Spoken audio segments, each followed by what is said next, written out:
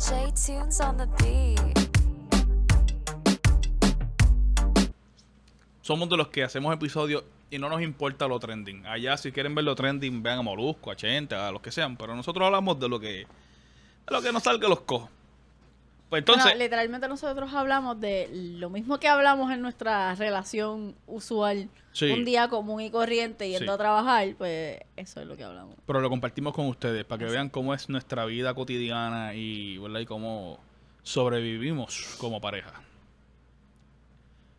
¿Nada que hablar? ¿De qué? ¿De cómo sobrevivimos como pareja? Uh, necesito como siete episodios. Mira, ya, ya empezamos de nuevo con las quejas de Desiree. Ahora esto cambió la bola aquí el, en el Desiree Podcast. No me aquí estoy ahora. quejando, solo me Wow. estoy diciendo. Por si acaso, para los que estén viendo esto, van a decir, adiós, pero ustedes están vestidos igual que el episodio anterior. Que sí, sí, es que Vamos a estamos ver grabando. como ocho episodios con la misma ropa. No, no somos pobres. Sí, No, sí, somos bueno, pobres, somos sí, pobres, pero me refiero a que no, no nos quedamos sin nada. No. Lo que pasa es que estamos grabando todo en un mismo día, ya que tenemos una semana súper ocupada, estamos en los trabajos, nuestra, fíjate, 20 cosas. Los problemas que hemos tenido, por eso que estamos aquí desahogándonos con ustedes, con la familia del Jorge Guevara Podcast, Jorge Quejín Guevara Podcast y ahora el Desiré Desahogo Podcast también a la misma vez. Vamos a hablarle de un tema que ya es súper viejo, pero a nosotros no nos importa. Y es de la sirenita. Para este servidor, a mí no me importa mucho el, el, el ¿verdad? Lo, lo que está pasando, que es lo de la sirenita morena. No me molesta. Me tripea. Me, me gusta la inclusión de que, de que, de que este público, esta, esta juventud, los niños, porque nosotros somos ya viejos. Esto es para los jóvenes. Esto no está hecho para nosotros. Vamos. Y de momento ver que estos niños, que son morenos, que de momento ahora están representados por estas sirenitas, lo ven y se emocionan, se sienten identificados, yo lo encuentro bonito. Pero en este hogar, yo sé que ella no tiene problema con lo de la raza. O sea, por, por- por si acaso, paréntesis, no somos racistas en este hogar. Que hagamos chistes diferentes. ¿Verdad? Porque la gente todo lo, lo mal- Sí, todo lo malinterpreta todo Y tú no puedes relajar con nada porque ya eres, te señalan, ¿no, Sí. mano? ¿Verdad? En nuestra vida privada, con nuestras amistades morenos, blancos, mexicanos, cubanos, de donde sea, te relajamos igual como si fueras boricua, no nos importa tu color ni tu de- ideología, de- no nos cierto. importa. Te vamos a relajar igualito cuando estamos en privado que aquí. Yo adoro ah, ese tono de piel porque ve, este, tono de piel color Fantasma. Salamanca. eh, ¿Sala sí, qué? ¿Sala qué? Salamanca. Salamandra. ¡Salamanca! ¡Wow! Ay, ay, Salamanca, Salamanca, sea. acabamos de descubrir una nueva especie de reptil. Salamanca. ¿Qué clase? Este podcast ya empezó hoy. La Salamanca en Discovery Channel. Vean esta nueva especie de una- un Es nuevo una reptil. entre español e inglés Pero, disparatero. no, no, mami, pero te guillaste con Salamanga. Este clip va para todos lados. Yo no dije Salamanca. Te vamos a tripear Yo no dije corillo. Salamanga. Escríbanle la no compañera de yo cuarto. dije. Hashtag Salamanga. Yo dije Salamanca.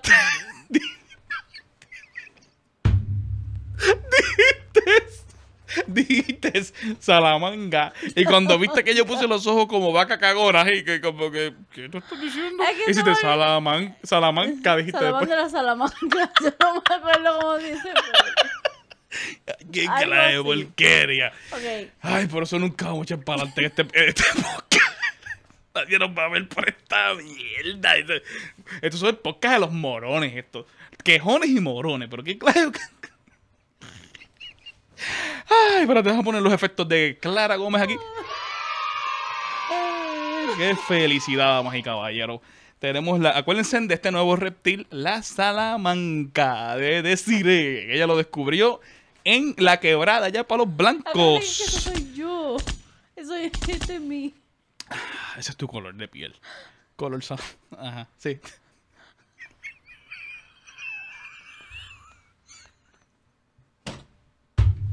Ay, yo no puedo creer que esto. Aquí se. Mira. Seriedad, seriedad, espérate que, que se nos va el tiempo aquí, tres horas aquí, Pues muchacha. entonces, volvemos otra vez. Sí, Pues yo. Ok. es que no puedo conectarme nuevamente. respira, respira. Ok. Deja Pues yo no tengo ningún problema con eso, al contrario. Yo incluso yo le he dicho a Jorge que si algún día tenemos la oportunidad de adoptar un niño, a mí me gustaría que fuera así. Así como. Moreno. Ok. Yo amo piel morenita, el pelito morenito, eso. Yo lo amo y me encanta. Pero yo considero que si tú te estás dejando... Es como que yo hago una película que diga basada en hechos reales, Sí. pero cambie toda la historia para acomodarla a algo. Pues entonces no es hechos reales. Mm, Bueno, sí, Pues entonces es como que si la historia dice que fue de cierta manera o que el personaje es de cierta forma, pues eso es es como faltarle respeto al autor o a la persona que creó eso. Sí, pero. Porque si tú quieres hacer algo de inclu- incluir Escucha, la vaya la ambulancia. eh, y quieres incluir o quieres hacer, ¿por qué no haces mejor una gran historia en donde las personas, los niños que van creciendo, se puedan sentir identificados? Porque ya, ok, la historia de la sirenita ya, ya, ya tuvo su público identificado, que fuimos nosotros. Sí. Pero entonces crea algo mm, bueno, grande, para que entonces esos niños se sientan identificados. Pero es como que ya no hay creatividad. Y lo que hacen es que toman una película y quieren crear un live action o quieren crear algo sobre ya que está hecho. Porque lo que pasa es que des- desde el punto de vista de negocios es más fácil para ellos llevar esta historia que ya existe, pero le dan este toque para, para que sea atractivo para ese público. Porque así es, como te digo, o sea, tienes que pensarlo, si tú eres el inversionista, tienes que pensarlo desde ese punto de vista. Yo voy a invertir dinero en algo que yo sé que me va a generar dinero a mí de vuelta y, y, y no, no voy a experimentar. Por eso es que las películas de Marvel, este, las de Batman, ¿cuántas Batman no han salido? A mí me gustan porque el personaje de Batman, pues, Pero todavía no han cambiado a Batman. pero Batman sigue basado en Batman. Sí, ok. Pero han cambiado el traje 20 veces, hay diferentes historias y versiones de Batman. Bueno, la- le puedes cambiar el traje 40 veces. Sí. Estamos hablando de cómo es el personaje. Sí, acuérdate que venimos, en, por lo menos vivimos en Estados Unidos y en Estados Unidos del 2016 al 2020 estuvo Trump en el poder. ¿Y qué pasó? Hubo un momento que, o sea, inclusive nosotros siendo latinos, tú sentías el racismo pero rampante y donde nosotros vivimos, que esta ciudad, por lo menos la ciudad dentro es bastante diversa, pero una vez tú cruzas la, la verja para afuera de la ciudad, esto es racismolandia aquí Ujú, al lado. O sea, esto es- no es fácil aquí para nadie. De, de cualquier cultura. Si tú no eres blanco, es, es complicado aquí. Tú sabes. Y yo trabajo con esa gente. Y, o sea, y yo los escucho porque ellos me hablan y me tocan temas. Y tú ves que, la, ¿sabes? Como que la curiosidad y en la forma en que ellos te miran, no te miran igual que. O sea, yo hablo con. Yo he tenido conversaciones con árabes, hindú, con, con un montón de gente inmigrante. Y ellos, yo me siento normal con ellos. Pero de momento tú cruzas esa verja que te digo, fuera del área metro aquí. Y, ¿sabes? Como Ujú. te sientes raro. Siendo ciudadano, porque somos ciudadanos. Este, ¿qué pasa? Al de momento cambiar la administración, ahora estamos en un gobierno demócrata, lo que sea, pues estas culturas que se sentían quizás oprimidas bajo esos cuatro años de Trump, pues ahora es como que le están dando ese cariño, como que, bueno, ¿no? ¿Sabes? Inclusividad, aquí estás aquí, ¿sabes? Gente que sean, este... Yo creo que he, no- he notado como que hay mucha presencia como que de lo que es el tema de los gays y las lesbianas en películas. ¿Qué pasó con La de... esta gente de Lightyear. Ajá. Que por cierto a mí me encantó esa película. La A mí me película está buena, claro la que película. sí. Porque se basan en estereotipos y Ajá. no le dan la oportunidad a ver lo que realmente te enseña la película. Sí. Y yo cuando la vimos a mí me gustó. Sí, la película estuvo buena. Pero a lo que me quiero, a lo que me refiero con lo de la sirenita, que a mí lo que, y yo entiendo el punto de vista, A mí tú me tiras un Batman, que yo me me gusta Batman, un Batman que sea moreno. A mí quizás puede que me choque al principio, como que, wow, espérate, me cambiaron el, el personaje original. Pero, en fin, por lo que realmente te voy a juzgar es por cómo tú actúas y cómo tú te desempeñas como actor. Eso sí. Pero que sea, quizás sí yo puedo sentir ese shock. Como que, wow, espérate. Porque sí yo entiendo que original crearon esta imagen de esta forma. Es como crear a lo que, a- ¿cómo se dice? Este, um, al de Black Panther. es- creo que tú has escuchado Black Panther. Es como que ahora tú pones a un Black Panther y el tipo es blanco, pues ahí también es lo mismo. Wow, un shock de Esa- eh, a qué pasó con esto aquí. Pero te voy a al final te voy a juzgar por cómo actuaste y tu Exacto. desempeño, no por el color.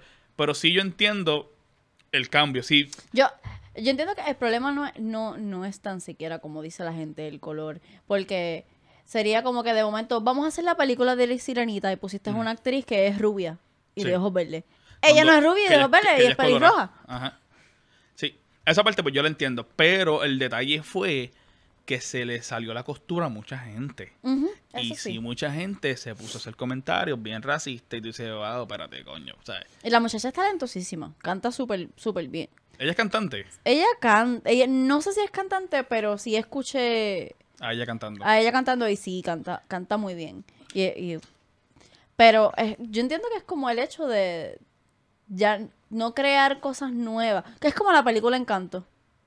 Esa película salió y ahora todos los niños aman la película, todos los cumpleaños de las niñas que he visto son de la película Encanto, Sí. porque crearon un personaje nuevo, inclusivo, sin forzarlo y tuvo muy buena aceptación. Pues, Tuvo- ¿por qué no hicieron igual que eso? Coco. Coco fue una película para latinos. O sea, para comunidad Yo latina. amo Coco.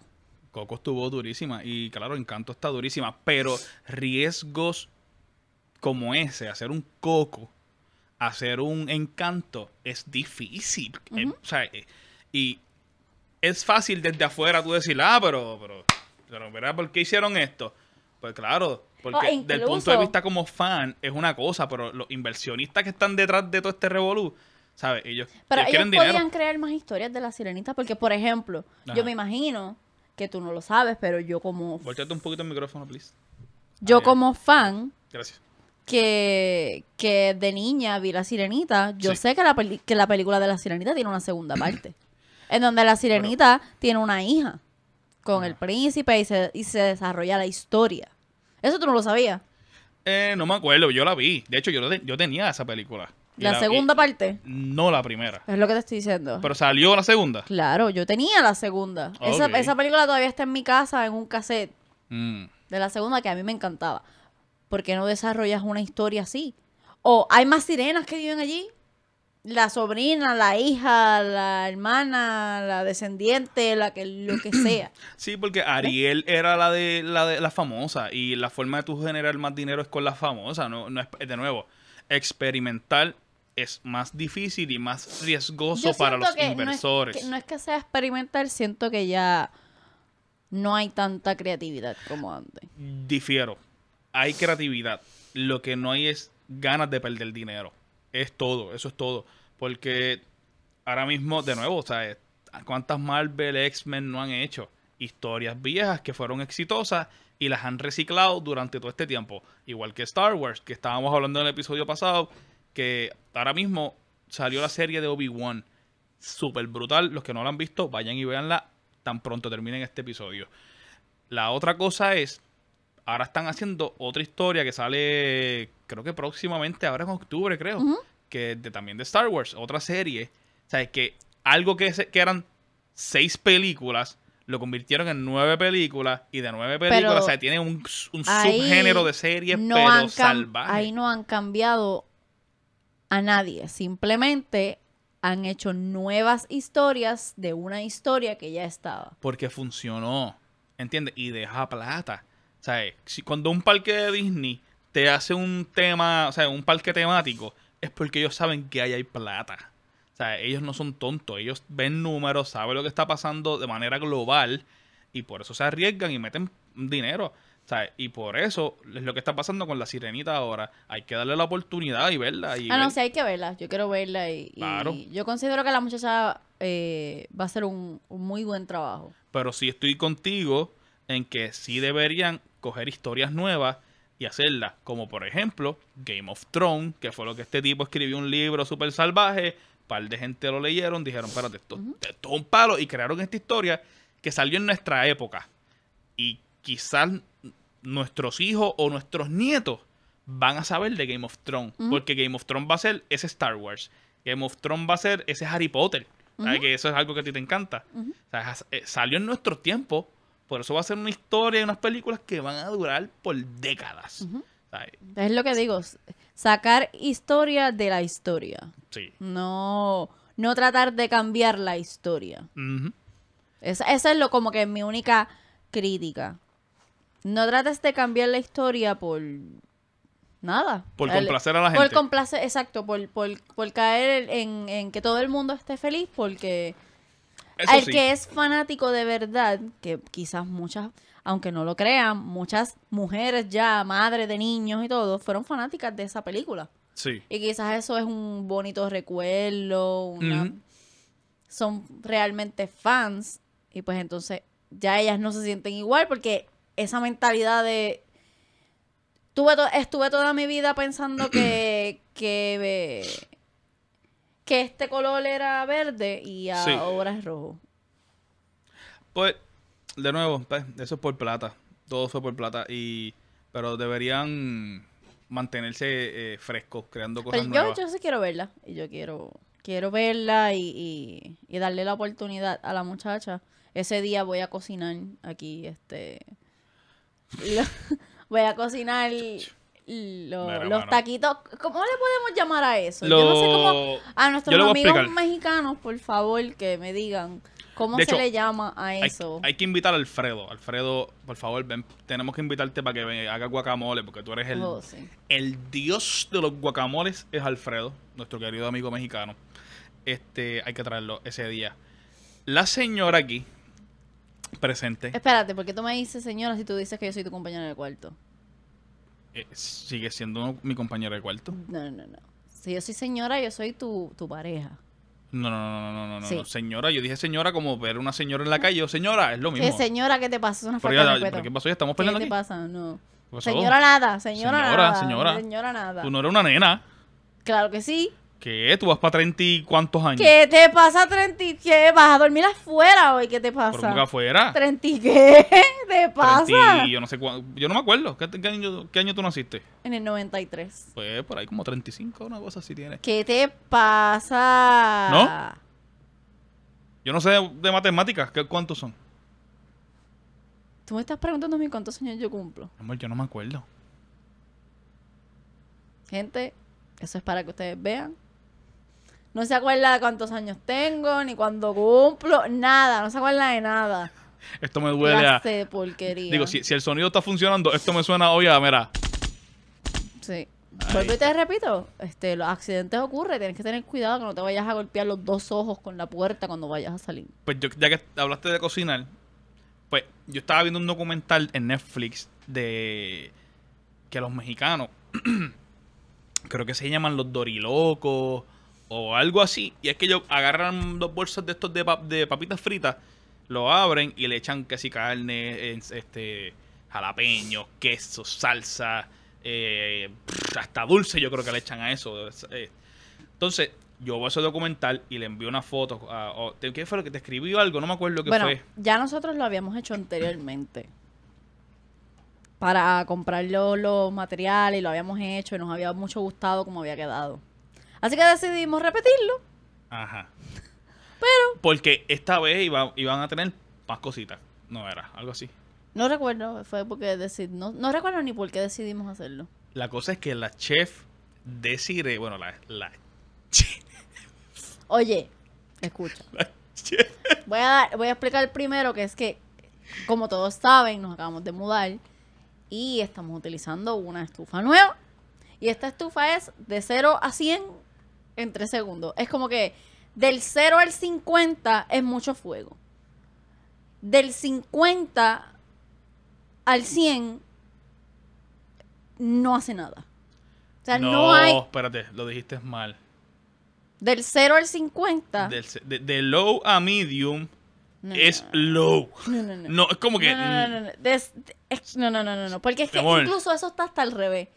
Si tú le das para este ladito, en lo primerito, si lo pones en lo primero, El micrófono, por favor. si lo pones en lo primero, Que es low.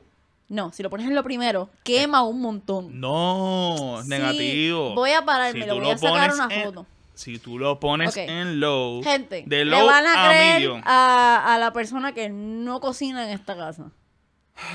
Está bien, ok. Yo no cocino, pero hago café todos los días. ok. Y yo lo puse en como en medium una vez para hacer el café. Y estuve como una hora esperando a que se hiciera el café porque nunca Eso. calentó. Nunca calentó. Exacto. Cuando lo puse un poquito más de, ¿sabes?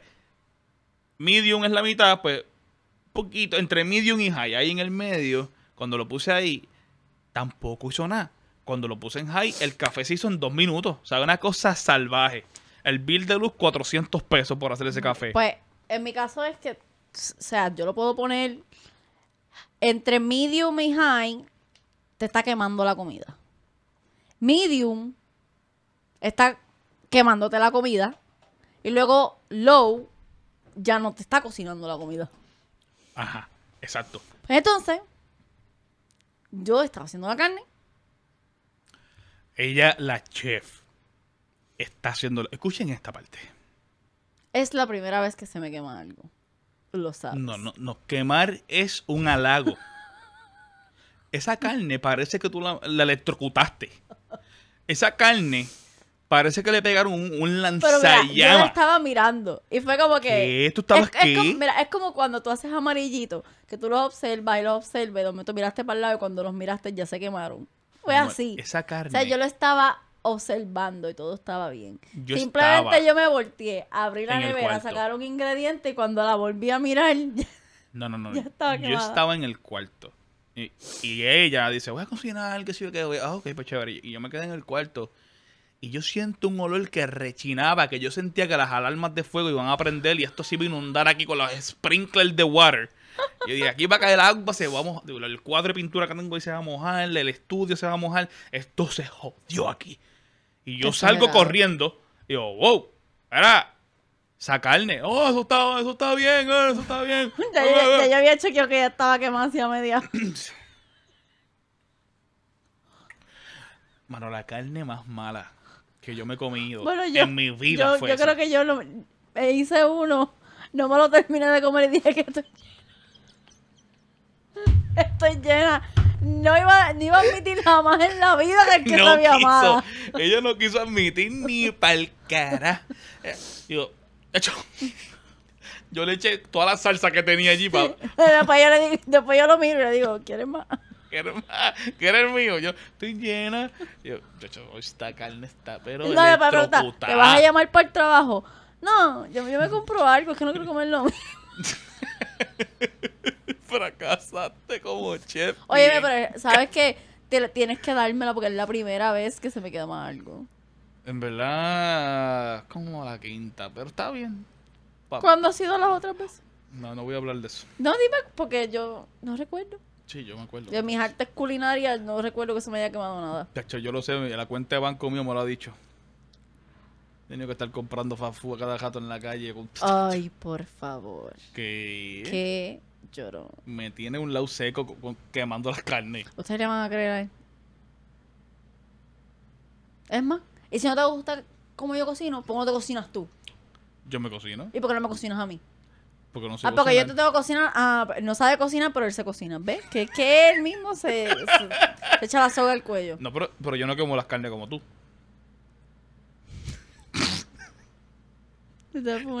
¿Cuántas veces yo quemo carne en, frente a ti? Pero si nunca cocina, ¿qué vas a quemar? Las dos o tres veces que cocino. ¿Qué vas a quemar? No, no importa. Es válido. Las dos o tres veces que cocino, no las he quemado. Y tú sí. Yo la he quemado una sola vez. Bueno. Todas mis demás comidas han estado muy ricas, muy divinas. Eh, exacto, muy, muy divina. muy buena. Bueno, mi gente, vamos a ir dejando esto aquí. Porque las quejas continúan en el próximo episodio de Jorge Guevara Quejín. Y deciré la quejona también. Esto, esto, bueno, faltan como cinco episodios más de quejas. Así que no se vaya nadie. Bueno, váyanse ahora palca, pero vuelvan ahorita para el próximo. Chao.